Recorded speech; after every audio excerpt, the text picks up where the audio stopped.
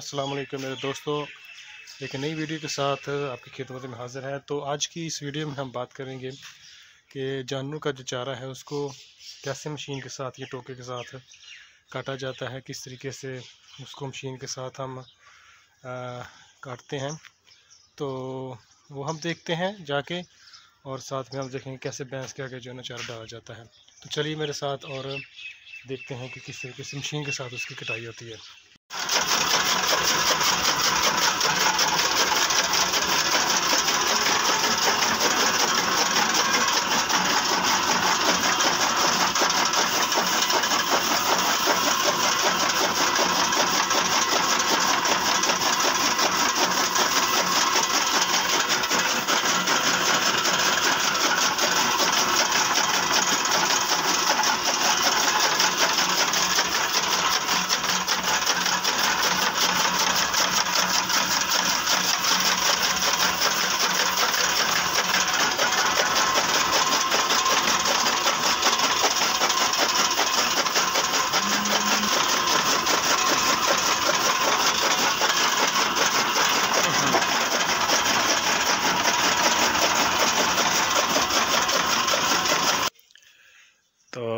ये आप देख सकते हैं, ये जानवरों के लिए यहाँ पे जो तूड़ी होती है, वो रखी गई है, क्योंकि आजकल सीज़न आउट हो रहा है तो यहाँ पर इसकी तादाद थोड़ी कम है। तो ये जानवरों के लिए चारा है, तूड़ी इसको कहते हैं। तो ये वो पड़ी हुई है। तो इस तरीके से आप ये देख सकते हैं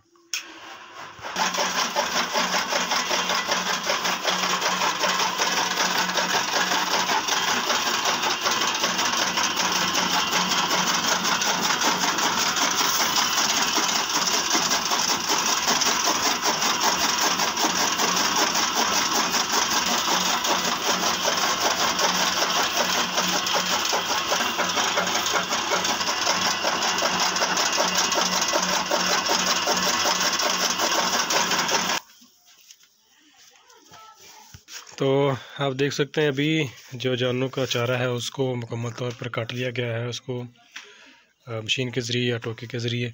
तो अभी जानवरों के लिए आगे चारा डालने के लिए उसको कपड़े में रखा जाएगा। तो देखिए हम इसको कैसे रखते हैं।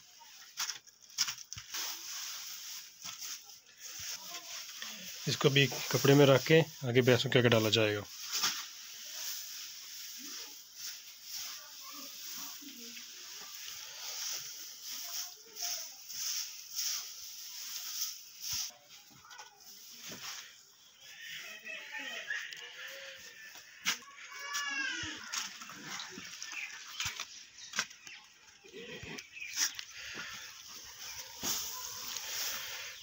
ये लें जी, जानों के खुरली में चारा डाल दिया गया है। अभी भैंस को इसके साथ, इसके ऊपर बांधेंगे खाने के लिए।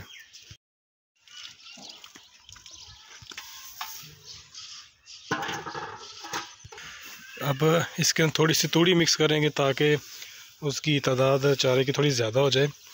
तो अभी इसके तूड़ी डाली गई है, अब इसको थोड़ा मिक्स किया जाएगा। ये देखिए जी, इसका मिक्सचर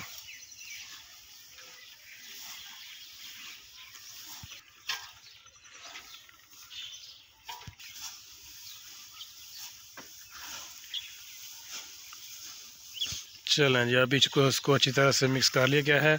अब भैंस को लेके आते हैं और इसको बांधते हैं ताकि वो बड़ी बेचैन है खाने के लिए। ये है जी बेचारी भैंस। अभी बड़ी गरूर नज़रों से हमें देख रही है और कब हम मुझे लेकर जाएँ, भूख लगी है उसको ज़ाहिर है। तो खाने के लिए बड़ी बेचैन है वो। खोलें जी इसको।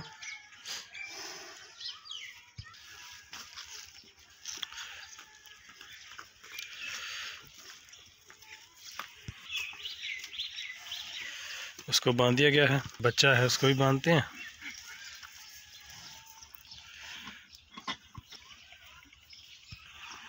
चलें जी, अब इनकी तैयारी मुकम्मल हो गई है।